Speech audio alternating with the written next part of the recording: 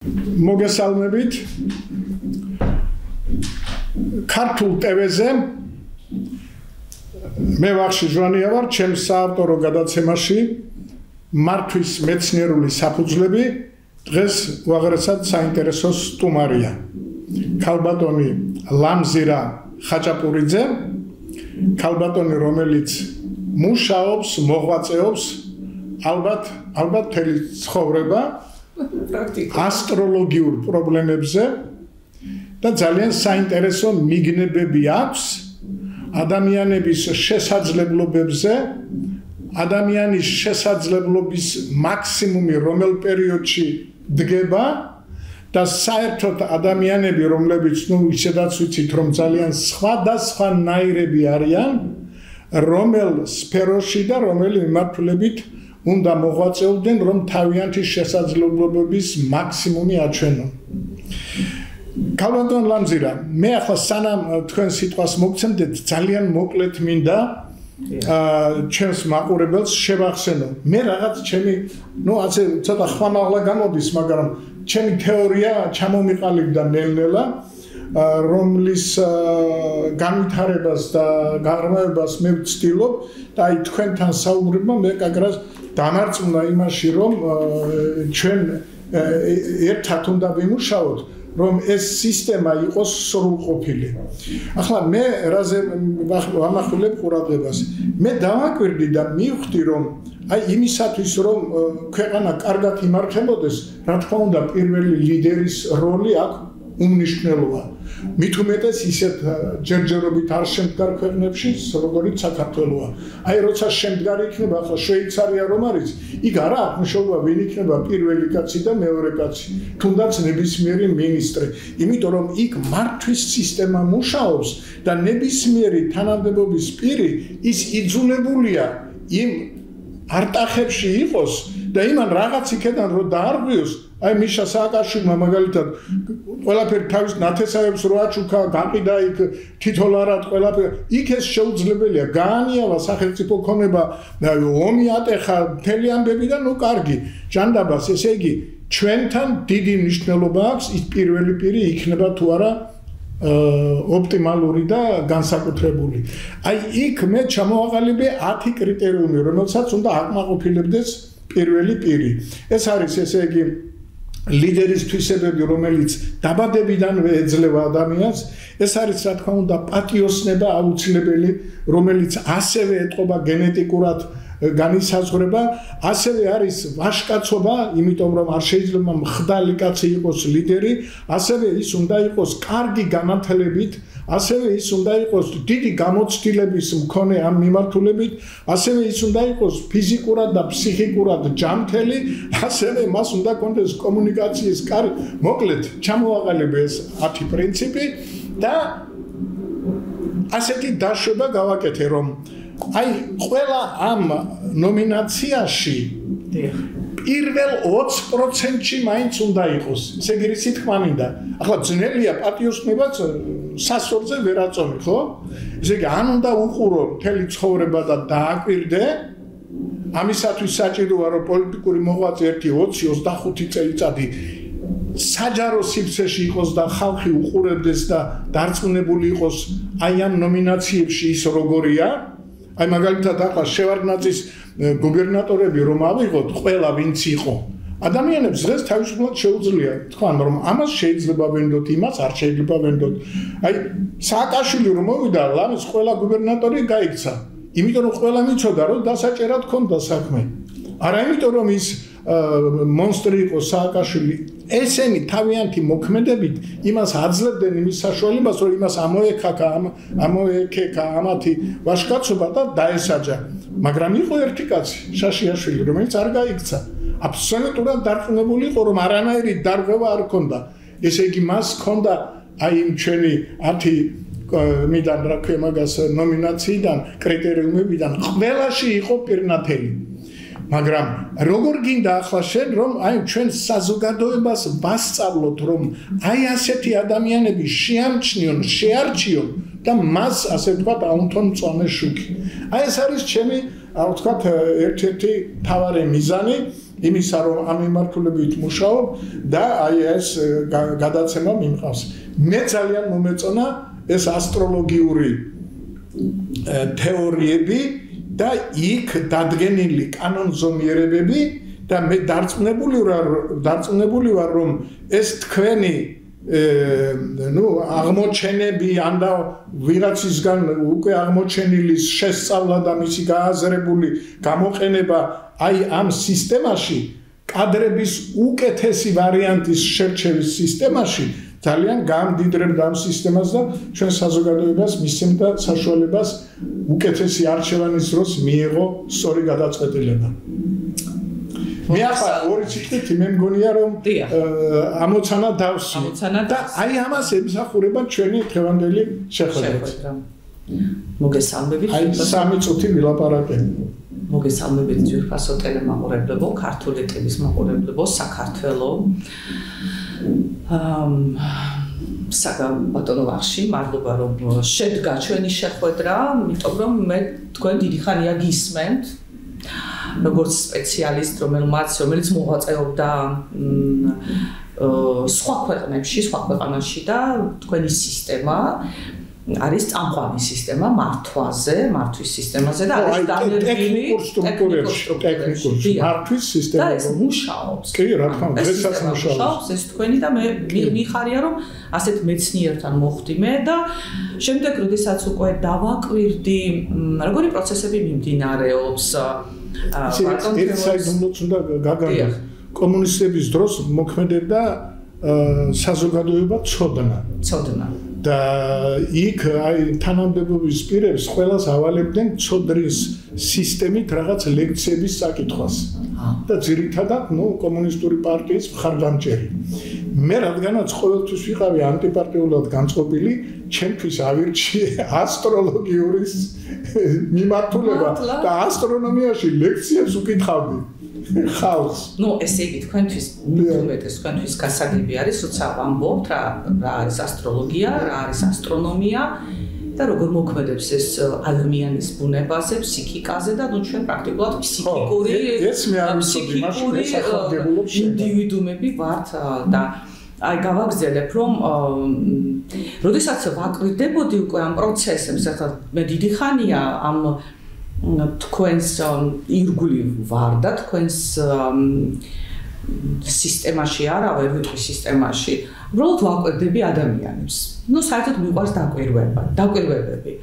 ეხლა რაც ეხება ასტროლოგიას, თქვენ უკვე ახსენეთ და მე ჩავიწერე, ჩვენ აუცილებლად მივალთ 12 თვისებამდე, იმიტომ რომ 12 თვე 12 ზოდიაქო საკრალური რიცხვიც არის. დიახ, და ჩვენ აუცილებლად ჩამოყალიბდება ეს. ეხლა რაც ეხება ჩვენ ვიწყებთ პრაქტიკულად საუბარს, ქვეყნების ასტროლოგიაზე. რატომ? თქვენ ახსენეთ მზე. მზე არის ჩვენი თავარი ვარსკვლავი, ხო და ქვეყნებსაც გააჩნიათ თავარსავდალი, პრეზიდენტი, არა აქვს მნიშვნელობა. როგორც ოჯახში არის ვიღაცა თავარი, შემდეგ არის ქვეყანაში, სოფლებში, ქალაქებში პრაქტიკულად არა აქვს მნიშვნელობა, მაგრამ როგორც მზე, ინდივიდუმი და ქვეყნების ასტროლოგიაში მზე ნიშნავს პირველ პირს. ანუ პირველი გენოსკოპში პირველი მე ვარ მზე, მზე. რას წარმოვადგენ მე? და მინდა თქვა რომ თვარე მზე და მთვარე, აი ორი ვარსკვლავი, მთვარი არის საზოგადოება, მზე წინა, აი ანუ პირველი პირი. ესე იგი, როგორიც არის მართველი, დიახ. იმიტომ რომ მზე აძლევს მიმართულებას. მთვარე არის ქვეყნების ასტროლოგიაში, მთვარე არის საზოგადოება, კოლექტივი, საზოგადოება და მაგრამ ზოგადად ქალი. ემოცია. ამიტომ ახლა ამ თვალსაზრისით ვაკვირდები რა ხდება ზოგადად ქვეყნებში, მაინტერესებს ქვეყნების ასტროლოგია, მაინტერესებს გენოსკოპი, მაინტერესებს ისტორია და აი ასეთი კვლევები ჩემ გამოკვლევებში ვიმყოფები და ვაზიარებ და ვიზიარებ რა თქმა უნდა ამ ცოდნას ჩემ ჯგუფში ფესვებშიც და თქვენთანაც. ესე იგი რა ხდება? როდესაც მზე თუ საზოგადოება დაზიანებულია, არის ასეთი ასპექტი ასტროლოგიაში, დაზიანებული ესე იგი მზეც დაზიანებული. არის ასეთი ცნო, ნუ ცნო როგორ თქვა? ცნება. ცნება, დიახ. დაზიანებული მზე. აი, როდესაც დაზიანებულია მზე, დაზიანებულია მთვარე, ანუ საზოგადოებაც და მზეც. ახლა გეკითხებით. იმუშავებს თქვენი თეორია, ვერ იმუშავებს. ამიტომ ჩემი ასტროლოგია და თქვენი თეორია უნდა გავაერთიანოთ, რომ როდესაც არჩევანი მოდის მზეზე და გვინდა ავირჩიოთ მზე, ეხ ჩვენ უნდა ვიცოდეთ მონაცემები ერთდროულად საზოგადოება რა დღეშია, ვინ არის ეს მზე, როგორი ურთიერთობა აქვს მზეს და საზოგადოებას და როგორ უნდა დავინახოთ? ამას ვინ აკეთებს სხვათაშორის?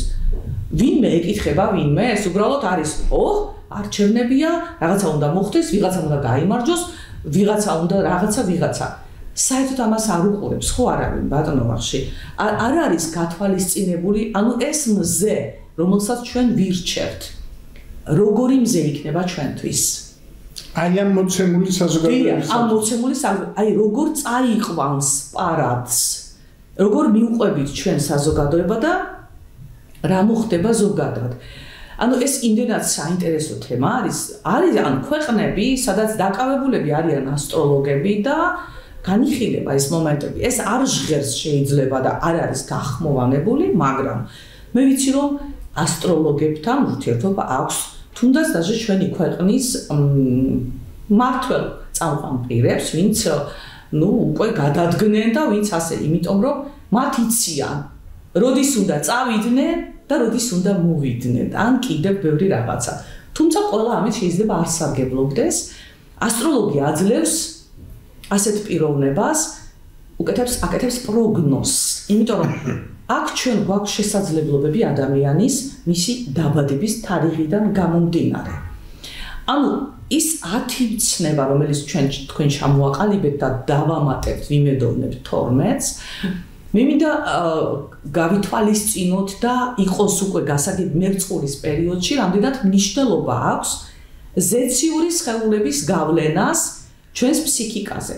ამიტომ 10 წლის წინ არჩეული პრეზიდენტი ვერ იქნება ისეთი ეფექტური, როგორიც იყო შეიძლება, როდესაც ავირჩიეთ.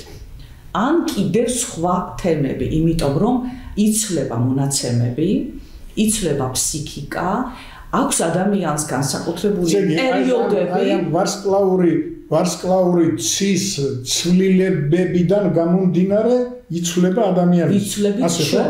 დიახ, რა თქმა უნდა. შემდეგ ჩვენ გვაქვს პერიოდები ადამიანის, როდესაც მაქსიმალურად უნდა ვიყოთ მაქსიმალურად რეალიზებული, მაქსიმალურად საკუთარ საქმით დაკავებული. რა არის საკუთარი საქმე?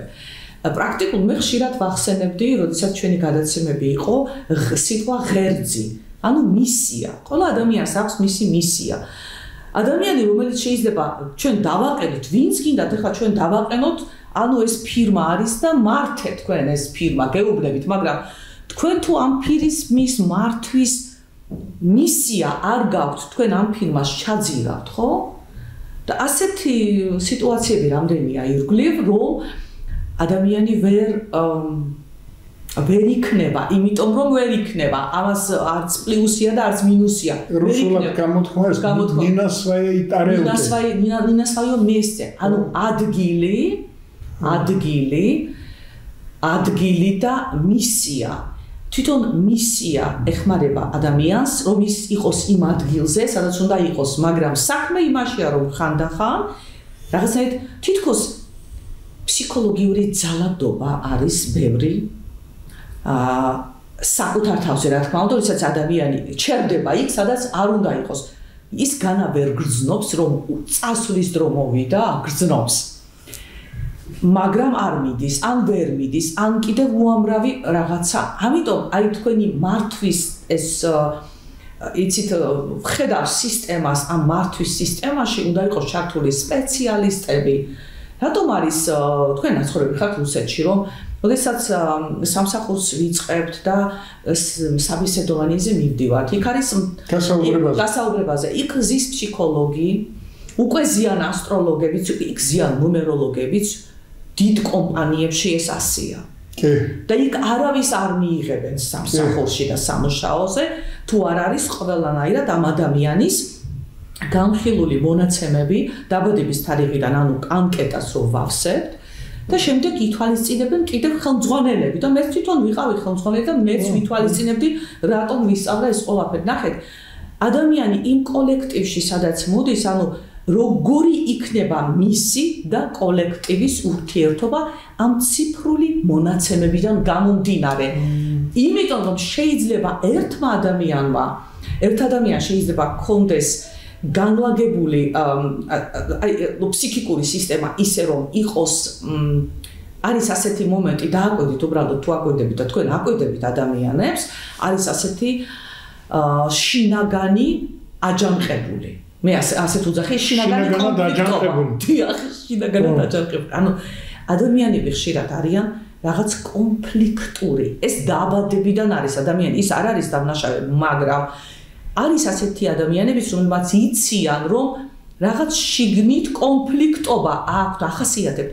ასეთი ადამიანები დადიან ფსიქოლოგებთან რაღაცას უკეთებენ ამ მის კონფლიქტობას და ხედავთ ჩვენ როგორ გვინდა მე რა დამავიწყდეს ამას ეს მინდა გავაძლიერო. მე ამავე დროს იცით ალბათ რომ აი სახეზე უყურებ ადამიანს კი ხო? თქვენთვისაც ხო გასაგებია ეს ის არა ქვია უბრალოდ მაყურებელს მინდა უთხრა რომ აი რობერტ უაიტსაიდია დიდი მეცნიერი, რომელმაც დაწერა უამრავი ნაშრომი, რაზე მეტყველებენ სახეები, სახის ენა, ნაოჭების ენა და ასე შემდეგ. იქ არის ერთი ასეთი ნიშანი, ნიშანი გამოყოფილი. ადამიანი, რომელიც კონფლიქტებისაკენ არის მიდრეკილი. და ის ის აწერია სახეზე და მე რომ უყურებ მაგალითად ვიცი რომ ამას ჩხუბი უნდა ყოველთვის. დიახ, ნახეთ თქვენ რამხელა გამოცდილება გაქვთ უკვე რომ თქვენ ხო შეგიძლიათ დაეხმაროთ აი თქვენი ცოდნით მართვის თეორია მართვის პრაქტიკულად დანერგილი თქვენი სისტემით აი აი ამით თუნდაც რომ თქვენ ხედავთ როგორია ესეც. აგერ ნუმეროლოგიური აგერ ასტროლოგიური მონაცემები. თქვენ წარმოგიდგენიათ რამხელა ინსტრუმენტის შექმნა შეიძლება საქართველოსში და არის ამის მწოდნე ადამიანები სადაც იქნება გამომუშავებული ასეთი ერთობლივად საინტერესო ინსტრუმენტი, რომელიც დაეხმარება გამოჯანსაღებაში ჯერ ადამიანს პირადად. შემდეგ ოჯახს, მე ოჯახებში მუშაობ, ოჯახებთან მუშაობ, ამიტომ ეს ჩემი ღერძი არის და მე მაქვს ინტერესი ოჯახური სისტემის განლაგებებზე. ამიტომ აი ეს იმდენად საინტერესოა და იმდენად იმდენად მრავალ ფეროვანია და სასარგებლო რომ უკვე გავიღვიძოთ უკვე მივხვდეთ რომ აი აი მე ლამზირე ხაჭაპურიძე თქვენ ვახში ჟვანია და კიდევ ბევრ მასე საკუთარ თავს სარკესთან უნდა მივიდეთ და შევეკითხოთ აი ხა სად ვიმყოფები მე? მე ჩემ ადგილზე ვიმყოფები? ეს იგრძნობა და აქ გვიშველის ალბათ ის მომენტი რომ აი გულახდილობა და ის შიგნით სინდისი ძალიან უნდა იყოს უკვე გაღვიძებული დახვეწილი, მაგრამ გენეტიკა სადმიურბი ვართ, ხო? კიდევ ჩვენ ხო ვატარებთ აი ამ ყველაფერს. ამიტომ ბაზონო ვახში წინ გვაქვს ძალიან დიდი სამუშაო, რაც ეხება მოწესრიგებას ფსიქოლოგიურად ადამიანების მოწესრიგებას. სოციუმში მოწესრიგებას, ოჯახებში მოწესრიგებას. სხვანაირად როგორ გვინდა მივიდეთ მზემდე, თუ საზოგადოება არ მოწესრიგდა, აი მთვარე პირველი და მეორე თაობა გენოსკოპში მთვარე საზოგადოება და ზოგადად ქალი. რა დღეშია საზოგადოებაც ისეთია მზეც, როგორიც არის მთვარე ისეთია მზეც. ანუ ორი ვარსკვლავი. და ეს მართავს პრინციპში აი ამ ყველაფერს ჩვენს ფსიქიკას. ძალიან საინტერესოა. ძალიან საინტერესოა, დიდებულად ჩამოაყალიბეთ. მე ახლა უბრალოდ მინდა აი ეს თქვენი სიტყვები და ის შინაარსი, რაც აქ ჩამოყალიბდა, აი რაღაცნაირად მოვარგოთ ჩვენს დღევანდელობას. ესე იგი ზვიად გამსახურდია. ეხ. ჩეხეთის პრეზიდენტად რო აგვერჩია.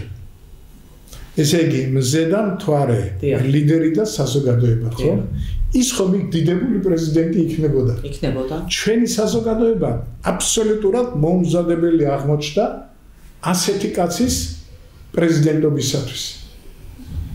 აი კონფლიქტი შეიქმნა. ვარ ვიყავით ჩვენ ეცობა მზად. ეს ერთი რაც მე ახლა იმ შენი თეორიიდან გამომდინარე. მეორე ესე იგი ოჯახშიც ვიღაც ერთი არის მზე. დიახ დანარჩენი საზოგადოება ასევე არის სოფელში თემში რა თქმა უნდა. რეგიონში. დიახ დღევანდელობა არის ასეთი რომ ჩვენ ნებისმიერი სოფლის გამგებელს აქედან პოლიტბირო პარტიის წამყვანი პარტიის ხელმძღვანელი ნიშნავს.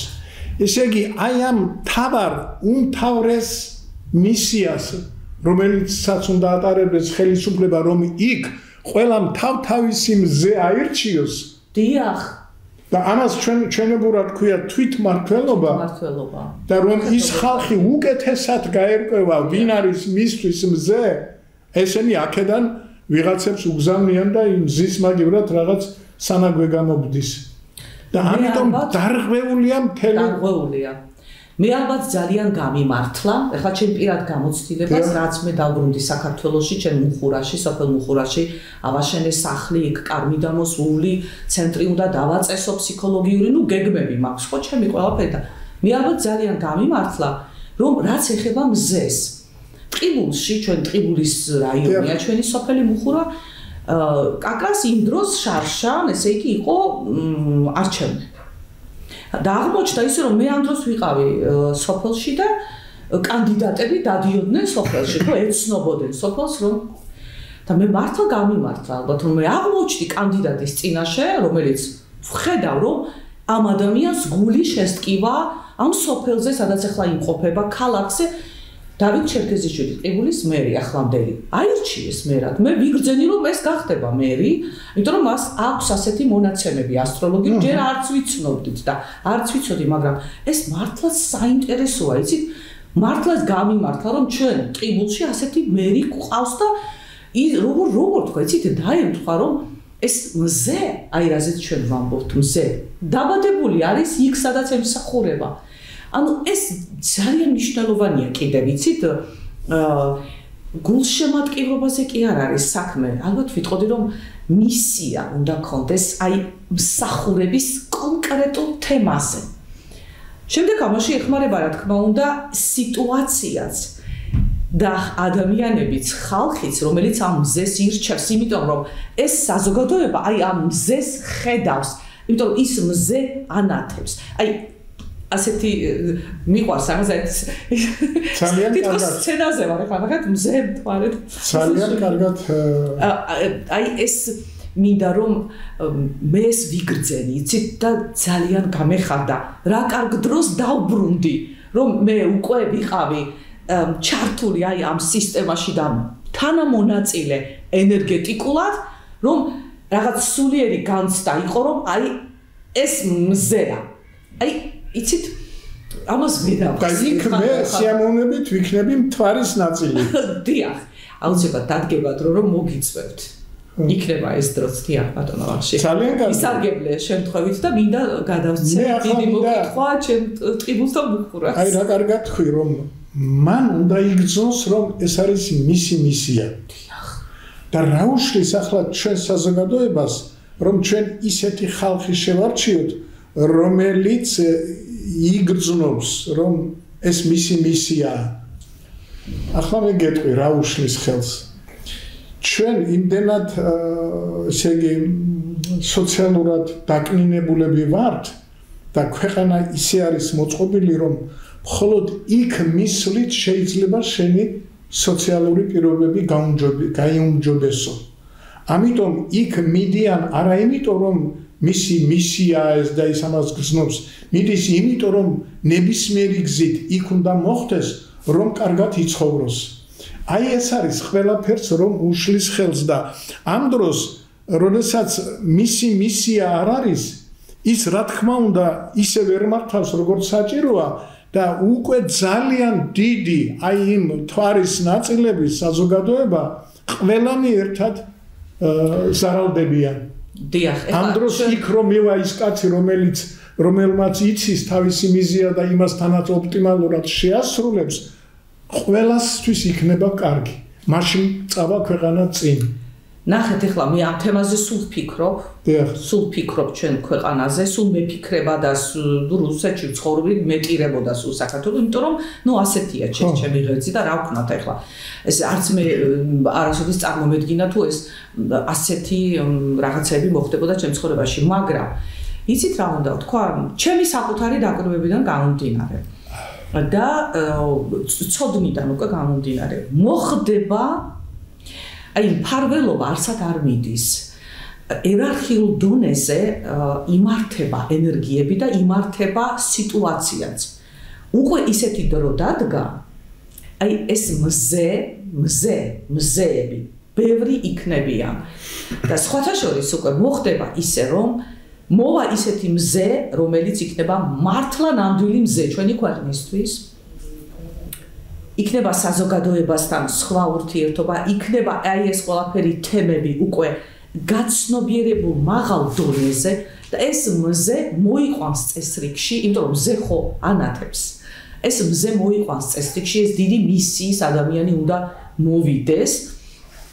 ამიტომ როდესაც თქვენ ამბობთ რომ იქ მიდიან, აი იქ რომ მიდიან, ეს არის დიდი უბედურება, დიახ რომ მიდიან, მაგრამ უკვე ისე მოხდება რომ ბევრი იქ წასული, იქამდე არ მივა ბატონო ვახში. აი ამის ამის მოლოდინში ვიმყოფებით და ეხლა ცოტა წინასწარ ვიტყვი ერთ რაღაცას, რომ აი იანვარი, თებერვალი, იანვარი, თებერვალი და 2023 წელიწადი და ჩემი საკრალური რაღაც ასეთი გამოვიმუშავე, ჩემი ფრაზა, მაინც დაგვალაგებს. დაგვალაგებს. მაინც დაგვალაგებს. დიახ. მაინც დაგვალაგებს ეს ისეთი განცდა არის შიგნით რომ აი ამ მაინც დაგვალაგებს, როდესაც ვხედავ და როდესაც გრძნობ. აი აქედან როდესაც ვიწყებ მოძრაობას, რომ მაინც დავალაგებს. აქ უკვე წყნარდები, აქ უკვე რაღაცა შიგნით ლაგდება და მე უკვე არსად არ მივდივარ იქ, სადაც არ უნდა წავიდე. მე მინდა უსურვო აი ამ თვარეს და საზოგადოებას, რომ აი იმდენად გაიღოს საზე ეს სისკიდობანი რომ ამბობენ და აი მოვიდეს ეს ცნობიერება მეტანოია შეიცვალე შეცვლა ცნობი ამის გარეშე არაფერი არ ხდება ამიტომ ყოველთვის ვლოცულობ რომ აი გაიხსნას გონება. ყველა მიხვდეს მისი ადგილი სად არის შემდეგ ვის თან არის კოლექტიურად ვისთან გავერთიანდეთ რომ ვემსახუროთ. ჯერ ერთმანეთს.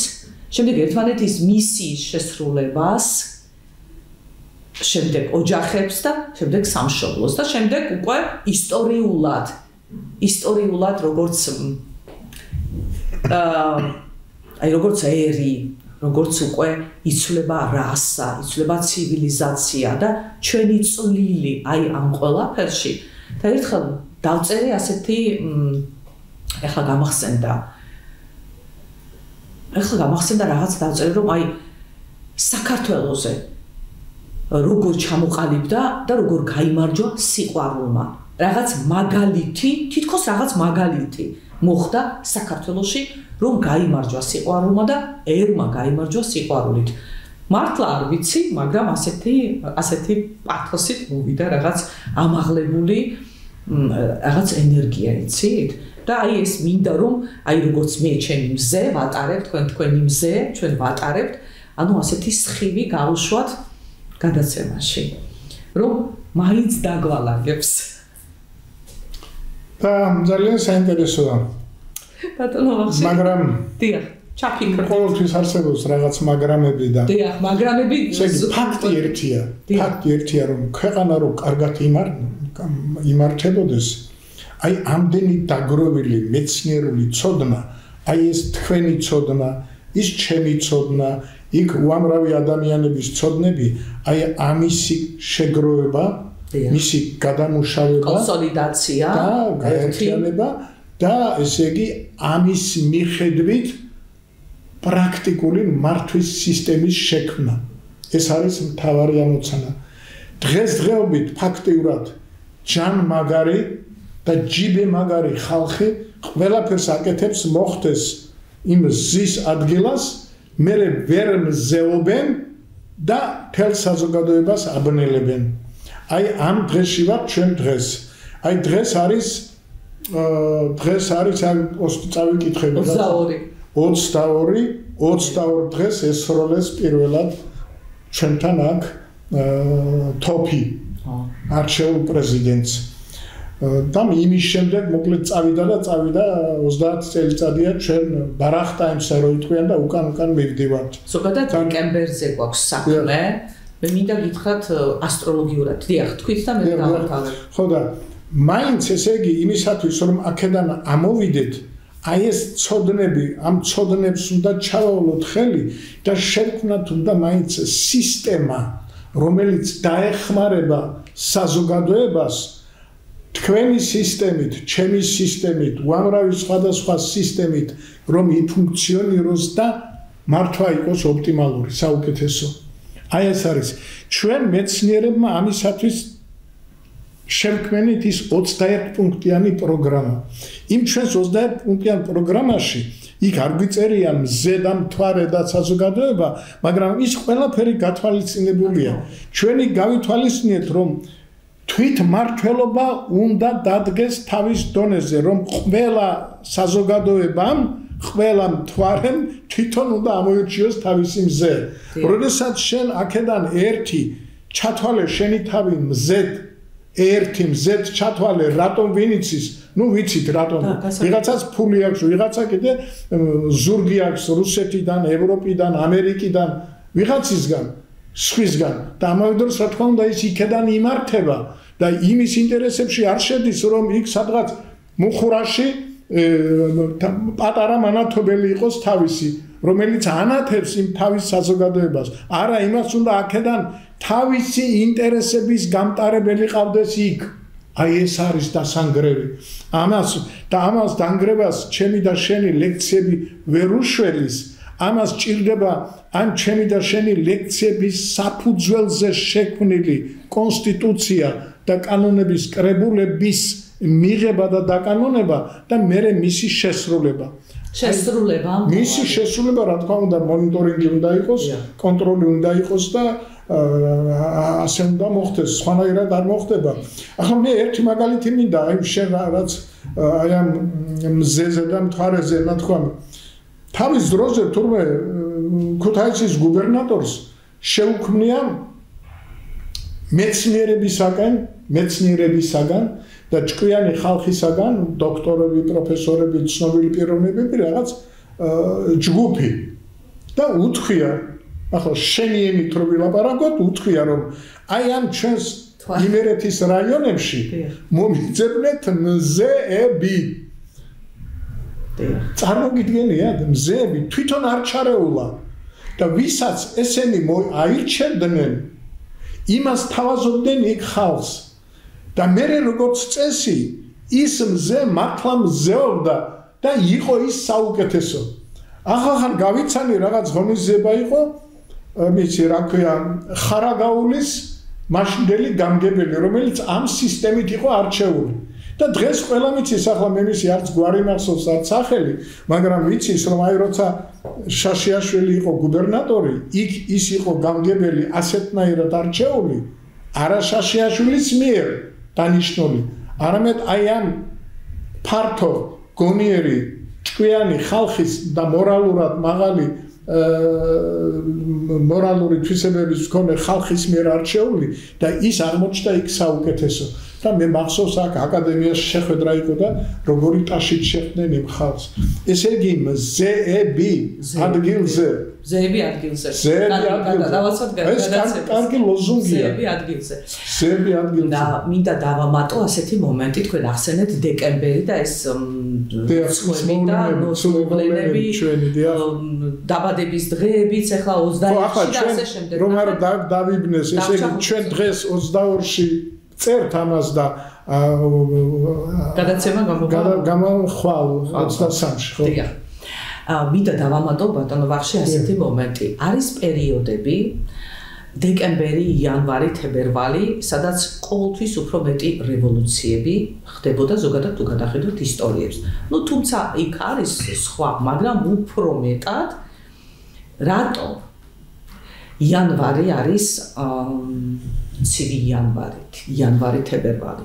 იმიტომ რომ იანვარი პრაქტიკულად იანვრის თხის რქა და მისი სატურნი, მისი ურანით და აი ეს ზეციური მონაცემებით ზოგადად რო ვიცოდეთ, არის მართველი მთლიანად სტრუქტურის სახელმწიფოსი აი სტატუსის და რაც ეხება მასებს და რაც არის მსახურება და თანაც ერთდროულად ძალიან კარმიულიც არის იანვრის ურანი და სატურნი ურანი და სატურნი და თანაც ძალიან კარმიული კარმული როგორიც როგორც მოწონთ სიტყვა ასე არის ეს პერიოდები. მარტო ქვეყნებისთვის კი არა ზოგადად ადამიანებისთვის. ამიტომ ამ პერიოდებში ხდება ყოველთვის და მინდა დავამატო ასეთი მომენტი იმედია დრო გვაქვს რომ ისტორიულად აი იმ წიგნში რომელსაც მე ვახსენებდი როდესაც მე გავაანალიზე ისტორიული განმეორებები პერიოდები განმეორებები ეს ზუსტად ემთხვევა რა თქმა უნდა იმას რომ აი ყოველთვის ეს აი დაგროვდა მაშინ ესე იგი მოხდა რაღაცა მოდი ასე ვთქვა. მოხდა ისტორიული მოვლენა. მოვლენა. ოკეი. ეს მოხდენილი ისტორიული მოვლენა ენერგეტიკულად განცდებით, იმიტომ რომ იქ ადამიანები არიან წავიდა ზეცაში, ენერგიად. ზეცამ ეს მინდა ახსნა როგორც 2 2 4-ია. ზეცაზე ეს ენერგია ეს მასების ასეთი ენერგია განცდების, როდესაც იყო ხალხის გაწყვეტა, ეს ყველაფერი მიმდინარეობდა, წავიდა. იქ ზეცაში ეს აღიბეჭდა. და როგორც და როგორც დაიმახსოვრა ეს ადგილმა, ზეციურმა ენერგიებმა და გადის დრო. იმიტომ რომ ეს ზეციური ელემენტები იმ ასპექტში მოხდებიან რამოდენიმე წლის შემდეგ, ეს ყველაფერი გამოთვლილია და მოხდება კიდევ ისე. ხვდებით ხო? ანუ წავიდა ენერგია და ბრუნდება. ეს არის ბუმერანგი. ეს არის კარმა, ეს არის ბუმერანგი. ეხლა რომ გავაანალიზოთ თქვენ თქვით პრეზიდენტი, რომ ასე ასეთი სიტუაციები გვაქვს. რომ გადავხედოთ უკან მივალთ ერეკლე მეორემდე ჩვენ საუბრობდით გუშინ მე ძალიან მაინტერესებს ეს პროცესები. პრაქტიკულად რაც ხდებოდა რუსეთ საქართველოს შორის იგივე ხდება უკვე განმეორებები მე ეს წერტილები აღბეჭდილი მაქვს და მეც მინდა რომ ჩვენი ხოთეს ასტროლოგები ვინც არიან მართლა ასტროლოგები დავჯდეთ და უკვე შევთავაზოთ რომ ეს ასია ეს უკვე დამტკიცებული ფაქტია ამას როგორც თქვენია დამტკიცებული ამას უკვე აღარ ჭირდება არავითარი ეს როგორ თქვა იცი ახსნა ისეთ რომ ორჯერ ორი ხუთია. ოჯეროდი ხო უკვე უკვე აღარ ჭირდება. ეს დამტკიცებული ფაქტია. არის მოვლენა არის ზეციური მონაცემები ამ მოვლენის. ოკეი აღიბეჭდა გავიდა დრო დაბრუნდა და კიდე მეორდება იმიტომ რომ იქ კარნიული კვანძები შეკრული გაუგებრობა ქვეყნებს შორის ხალხებს შორის ადამიანებს შორის ისე ისე ითხოვს რას ითხოვს ბატონო ვახში ითხოვს გახსნას, დიახ, ითხოვს აღიარებას, გახსნას, პატიებას, სიყვარულს. იმიტომ რომ ეხლა წინაპრებს ვახსენებ, ანუ ჩვენ რატომ გგონიათ, რომ ჩვენ მარტო ჩვენ ვართ, არა, ჩვენ მარტო ჩვენ არ ვართ. ჩვენს უკან დგანა ეს არმია ჩვენი წინაპრების, ისინიც ასე მონაწილეობდნენ რაღაც პროცესებში, უფრო მეტი იყო ომი, უფრო მეტი იყო ხალხის განადგურება, ანუ პრაქტიკულად ენერგეტიკულად ეს არსად არ წასულა და ჩვენ ჩვენ თაობას ახლა ითხოვს უკვე ეს ენერგიები. გვაღიარეთ, მიგვიღეთ, ბოდიში მოგიხადეთ, გვაპატიეთ, ну არ ვიცი რა, მაგრამ აი რაღაცა ასეთი. ეს ამ თემას უკვე ჩვენ ხშირად ევროპა, ევროპა თუნდაც რუსეთი ამ თემაზე უკვე ხალხი მუშაობს ძალიან სერიოზულად. ოჯახები მუშაობენ, ფსიქოლოგები მუშაობენ, ასტროლოგები მუშაობენ.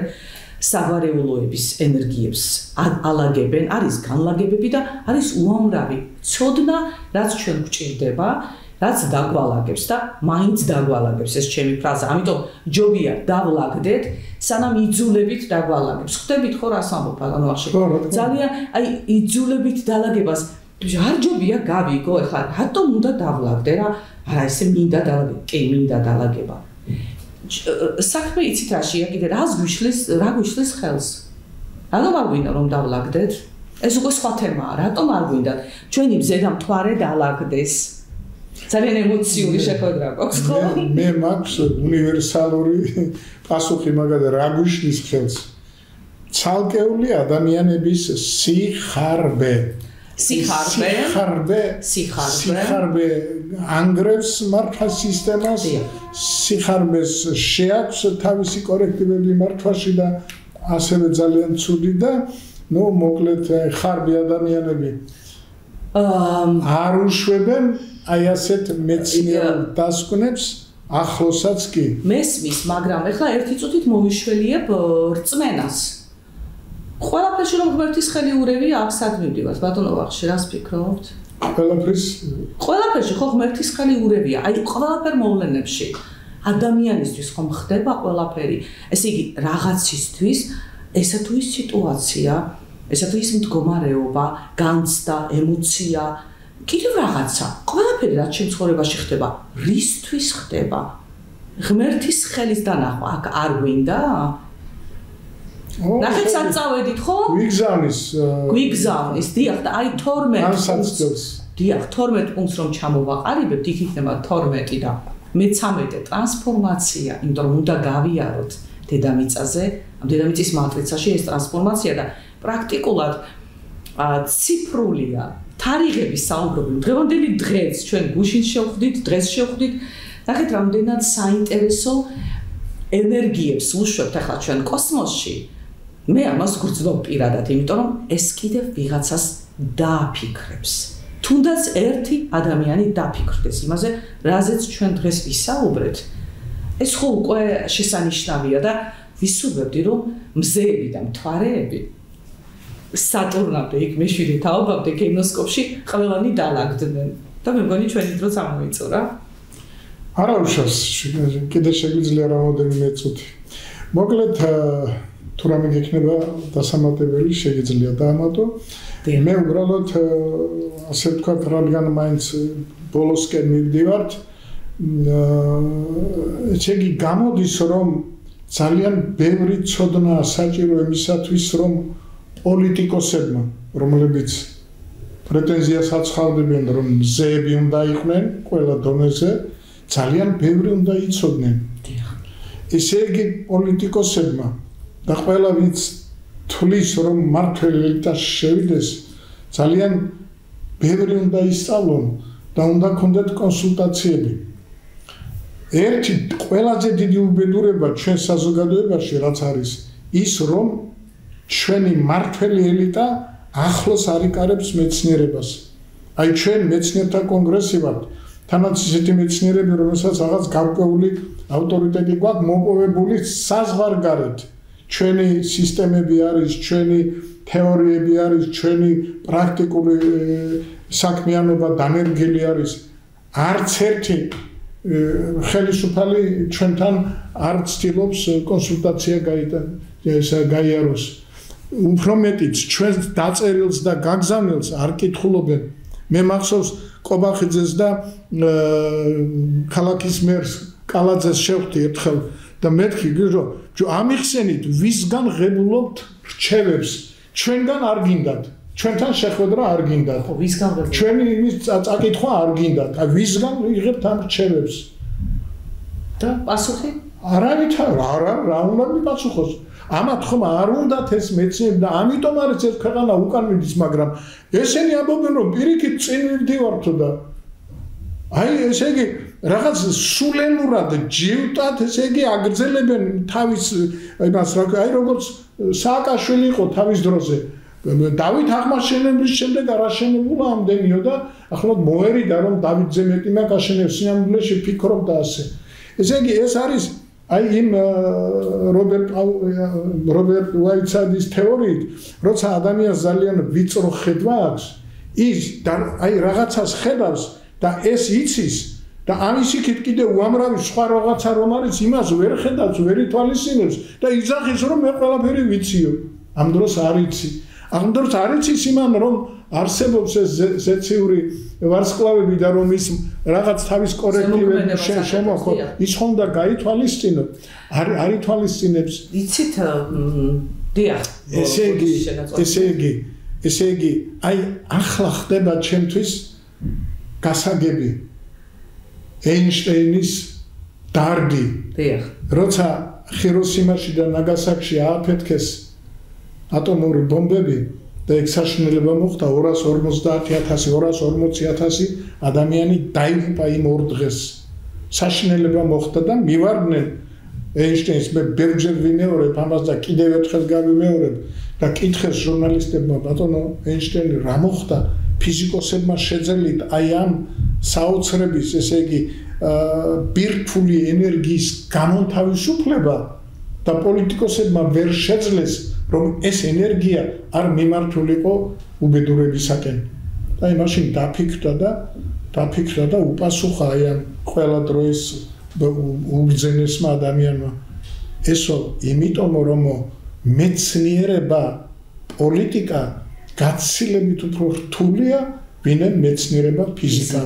აი ვინმე ეს იცის, რომ პოლიტიკა მართლა რთულია და რთული და ძნელი არის იმიტომ რომ იმიტომ რომ ამ პოლიტიკაში აუცილებლად უნდა იყოს გათვალისწინებული შენი თეორიები, ჩემი თეორიები, გახოკიძის თეორიები, ჯალიაშვილის თეორიები და უამრავი სხვადასხვა ადამიანები. და ამ დროს ჩვენი პოლიტ ელიტა გროვდება იმ ადამიანებისაგან, რომლებმაც საერთოდ არიციან ლამის წერა კითხვა. ჩვენ ვიცით და უამრავი მაგალითია პარლამენტში ძალიან დიდი რაოდენობა ადამიანის წერა კითხვა არ იცოდა. ამ ბატონო ვახში, უნდა ვთქვა ასეთი რაღაცა, დავამატებთ მაშინ აი ესეთი რეპლიკა პატარა, რომ რატომ უჭირთ ადამიანებს ხშირად შეეკითხონ მეორე ადამიანს, ვინც იცის, რატომ უჭირთ? აი მე სულ ვაკვირდები. მე პირადად გამიმართლა ალბათ კიდევ 10 ჯერ და 1000 ჯერ ყოველთვის თუკი რაიმე ჩემთვის მე ეს არ ვიცი დავრეკავ, მივწერ, მოვწერ და ასე ასე ცხოვრობ მთელი ცხოვრება, მინდა გავიგო მე ეს არ ვიცი. ნახეთ, აი მე არ ვიცი, სულ მამოძრავებს, რომ ვიცოდე. და ხშირად ხდება პირიქით, ხო? ესე იგი, არის ასეთი გამოთქმულება, რომ უჩემოთ რატომ იქეიფეთო რა, ესე ცუდი კეიფი გქონდათო. მე რომ თქვენ შეგეკითხოთ ბატონო ვახში, თემაზე არ აქვს მნიშვნელობა, ან თქვენ შემეკითხოთ, ხო? აა რა ხდება ამ დროს? ჩემი არ ცოდნა, თქვენი ცოდნა. მე თუ ჩემი არ ცოდნა, არ ვაღიარე და თქვენ ცოდნას არ მივმართე, როგორ მივმართო? უნდა ვაღიარომო არ ვიცი, ხო რაღაცა. და ჩვენ ხშირად უბრალოდ დააკვირდით როგორ საუბრობენ ხშირ შემთხვევაში. მე ვიცი. ყველა ამბობს მე ვიცი. ნახეთ, აი ეს მე ვიცი, მე ვიცი, მე მგონი ფრიად დამღუპველია რა თემა. სრო არა მაქვს, მაგრამ მე რო დავასრულებ ჩემ გეტყვი ერთ ანეკდოტს მე საზოგადოებასაც უთხარი ერთ ანეკდოტი. აი ამაზე რომ არ ვიცი, ამის თქმა ძალიან უჭირს მით უმეტეს პოლიტიკოსი ამას არ იტყვის. ეს არის რატომ არ ამბობს? თუ არ იტყვის რომ არ vicsi, ესე იგი ის ვერ შეიძლება იმ ცოდნას, რომელიც ნაციონალურში არის. სანამ არ აღიარებს რომ არ იცის რაღაცა, იცით ცოდნაც გადაკეტილია ასეთი ხალხისთვის. მიცი იცი როგორ თქვა, აი სიტყვა არ ვიცი, აი მე ეს არ ვიცი, მე ეს მინდა გავიგო. აი ეს ამიხსენია, ეს მასწავლე, ეს მითხარი. აი ეს გვიჭირს, რატომ გვიჭირს? ესეც გენეტიკური ხომ არ გვაქვს, როგორც ერს, ა? ხო, ბატონო, სიმითხარით. კალდან ლაზერა. მე ფიქრობ რომ საკმაოდ საინტერესო საუბარი გამოგვივიდა. ნახოთ როგორი რეაქცია იქნება საზოგადოებას. მე ფიქრობ რომ ჩვენ შეგვიძლია ალბათ ამის გაგზელებები შევთავაზოთ საზოგადოებას, ამაზე მე ვიფიქრებ. ახლა კი მადლობა უთხრათ იმათ ვინც მოგვისმენს და ეყოფა მოთხრება ბოლომდე მოგვისმენს. და დასკვნა, ჩემი დასკვნა ასე არის, რომ ხალხო უამრავი ცოდნა არის დაგროვილი ქვეყანაში, საზოგადოებაში, სამყაროში და ქვეყნის მართვის პერიოდში ეს ცოდნა მაქსიმალურად უნდა იყოს გამოყენებული. ესე იგი, მართლმა ელიტამ აუცილებლად უნდა დაამყაროს კარგი კავშირი მეცნიერებასთან და ცოდნე ხალხთან. ეს არის მე მგონი უსაშველოდ საჭირო და აქტუალური. მადლობა ყურადღებისთვის. ამ ჩვენო ტელემაყურებლებო, ქართული ტევის მაყურებლებო, ბატონო ვახში, მადლობა. მადლობა ვინც მოგვისმენს, ვისაც ეყოფა მართლა ნებარო ბოლომდე მოგვისმინოს. ვიმედოვნებ რომ გავაჟღერეთ და ვთქვი, ну, რაც მინდოდა იმ თემაზე, რასაც ვაკვირდები და რაც როგორც ასტროლოგი, როგორც ნუმეროლოგი, როგორც ფსიქოლოგი, როგორც გენეტიკის სპეციალისტი და როგორია როგორი ცხოვრება მიმდინარეობს საერთოდ და აი ყველაფერი აი ეს რაც ხდება ვიმედოვნებ რომ ჩვენი ცოდნა გამოადგება კიდევ ვიღაცას და მადლობა. იმედებს. კარგად ზამდებოდეთ